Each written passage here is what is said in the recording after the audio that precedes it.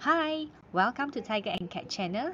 Today we are going to learn about experiment 4, Charles law and the ideal gas law.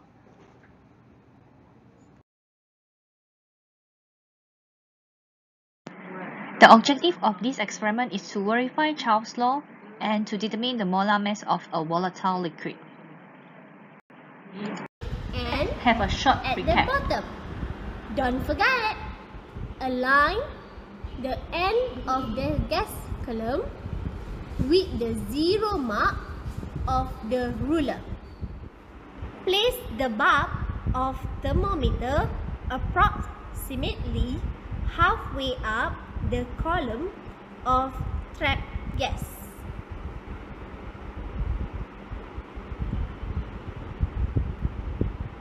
Okay, done. Place the Charles law inside 250 ml measuring cylinder. Fill the measuring cylinder with tap water until the gas column inside the tube is totally immersed.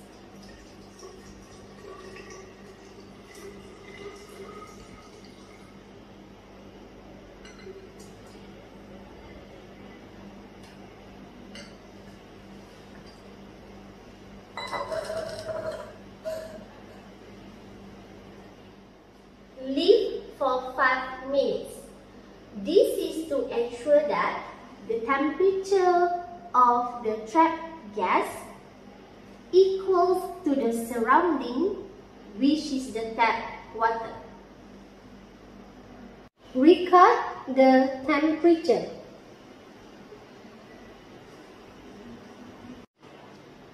And measure the height of the gas column.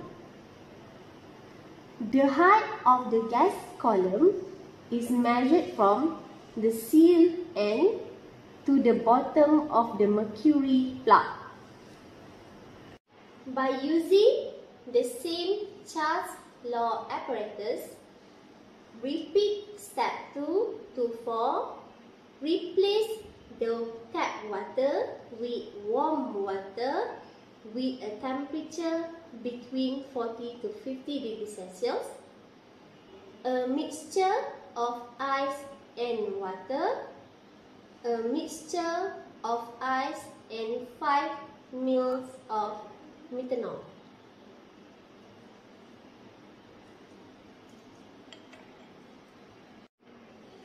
Don't forget to wash and rinse the Charles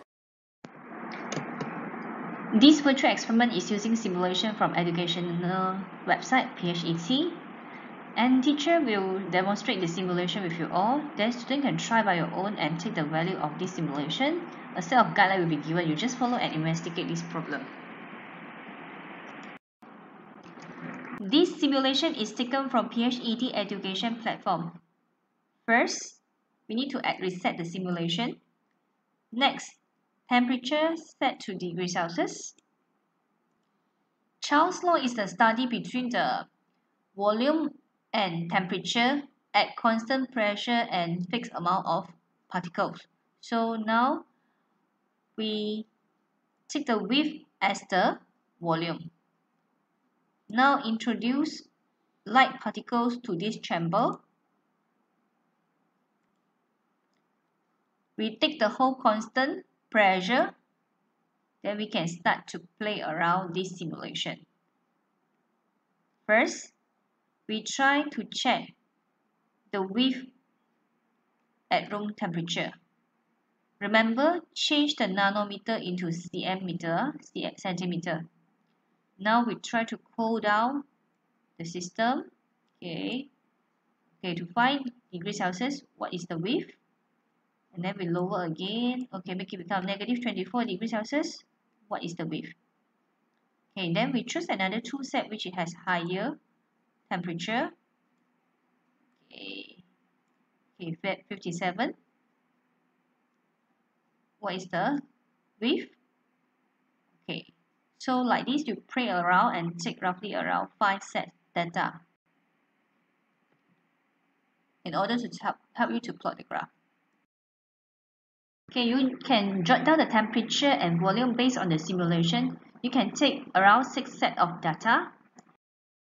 You plot the graph by using the width against temperature and then temperature in degrees Celsius on the graph paper.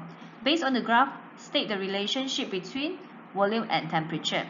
And then try to extrapolate the line until the width equal to zero to obtain the absolute zero temperature.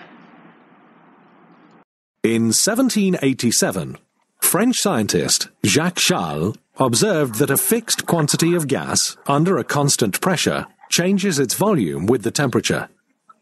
When the gas was heated, the volume increased. When it was cooled, the volume decreased. The graphs illustrating this relationship were straight lines. Extension of these lines to lower temperatures made them all cross at one point. At zero volume, and a temperature of minus 273.15 degrees Celsius. Of course, gases do not ever reach zero volume upon cooling, since they change to liquids and then to solids before reaching that temperature. The temperature minus 273.15 degrees Celsius is called absolute zero and is the basis of the absolute temperature scale, where the temperature is measured in Kelvin. We have already shown how to convert degrees Celsius to Kelvin. The volume-temperature relationship is known as Charles's law. For a fixed amount of gas at a constant pressure, the volume of the gas is directly proportional to its absolute temperature. This relationship can be expressed in the form of a graph by proportion or equations. We can see from the latter that the quotient V divided by T always equals the same constant for a given amount of gas at constant pressure. This means that knowing the temperature T1 and the volume V1 of gas, we can calculate its volume for any other temperature. Notice that doubling the absolute temperature doubles the gas volume.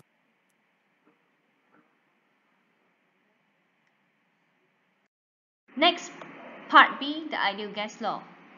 So this part you need to calculate the molar mass of the unknown liquid based on the below data. So you just follow the data and then try to apply the formula PV equal to nRT to find out the molar mass. Okay, let's check. For this part, we are going to apply the ideal gas equation. As we know, right, ideal gas equation is from three gases law, which is which are Boyle's law, Charles law, and Avogadro law. So, and then you notice volume is directly proportional to temperature and number of mole and inversely proportional to pressure. So, PV is directly proportional to NT. Based on here, right, okay, we, uh, we're adding the uh, directly proportional constant which is R with the value 8.314 joule per Kelvin per mole or 0.08206 liter at cm per Kelvin per mole. Okay, from this PV equal to nRT, okay, we can use to determine the density, molar mass, temperature, pressure of a gas. Always remember this is ideal gas equation. So gas which obeys all gas equation. So and then must bear in mind that PVRT must be correct unit. Uh?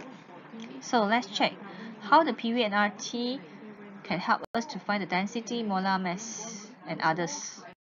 So based on PV and RT, right, actually we can find the density and molar mass. Okay, so first of all we must know, okay, actually number of mole is equal to mass over molar mass. So we try to replace, substitute this equation over here. So mass over molar mass times V equal to P over RT. And then what we want is molar mass. Okay, so you try to put a mathematical way, pull MR over here, V remain the same over here, MRT over V.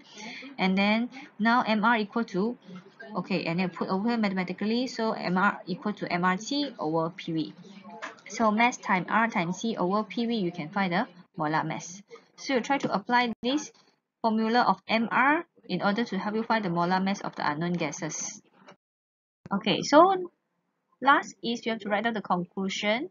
Charles law volume of a fixed mass of a given gas is proportional to. So it's directly or inversely Okay, next, based on your calculation, what is the molar mass of the unknown gas? And then try to predict the compound of unknown gas based on the molar mass that you found. So for this experiment, right, what you need to do, just write down the title, objective, result. So based on the result, you have to plot the graph for part A and then perform the calculation for part B. And then just do the simple discussion based on the instruction and then write down the conclusion and reference. After that, turn in through Google Classroom. Hope you all enjoyed this lesson. Thank you.